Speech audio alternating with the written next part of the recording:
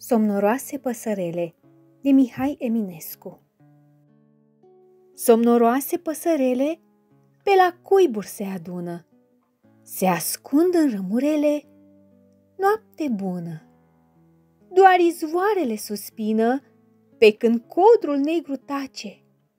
Dorm și florile în grădină, dormi în pace.